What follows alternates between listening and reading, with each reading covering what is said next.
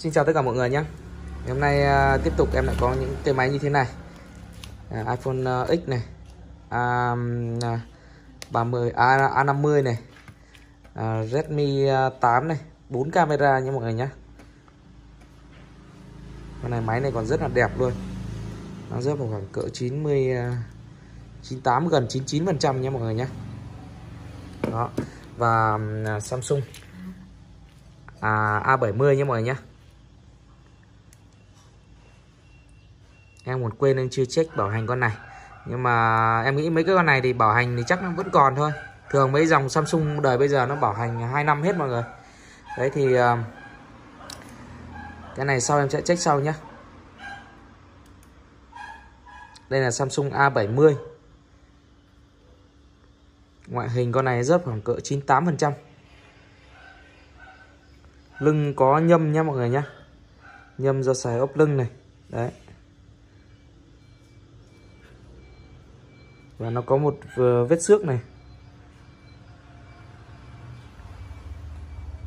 Máy nhưng mà máy nguyên zin luôn. Đấy mọi người mua thì em bán giá là 4 triệu 650 nghìn nha mọi người nhé. Và tiếp theo cái iPhone X này mọi người. Con máy này là máy Việt Nam. Máy Việt Nam luôn. Đó. Con này là xài ờ, hệ điều hành uh, iOS nhé chứ không phải là Android nha mọi người nhé máy à, mọi chức năng nó hoạt động bình thường. Nó chỉ có cái là mất phê đi thôi. Mất phê đi thì mọi người phải biết rằng cái phê đi nó giống kiểu như là cái iPhone 7 iPhone 8 mà nó dùng vân tay ấy mọi người. Đấy phê đi nó là cái nhận diện khuôn mặt thôi nhá. Thì uh, ngoài mọi uh, ngoài nhận diện khuôn mặt ra thì nó xài full chức năng hết. Loa nước ấm nước bình thường. Camera chụp bình thường hết nhé mọi người nhé cam trước cam sau hoạt động ok hết.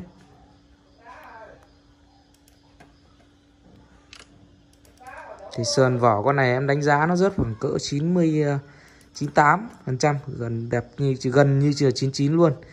Máy Việt Nam nhưng mà xài như vậy là rất là kỹ rồi nha mọi người nhé đó. Con này em bán giá là 6 triệu 8 nha mọi người nhé iPhone ờ, X, máy Việt Nam. Đó. Rất là đẹp. Chỗ này nó còn bụi này em còn chưa vệ sinh đi này. Đấy mọi người thấy không? Hôm nay thì à, em đang ở dưới um, thành phố. Xuống tiệm ông anh cũng được mà lấy được mấy cây này thôi. Còn mấy cây máy cỏ này về chắc xem làm video sau nhá.